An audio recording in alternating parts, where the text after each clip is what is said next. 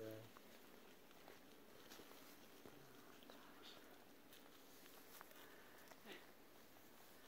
Uh, who up nine? Hopefully they'll see it and remove the bear tongue.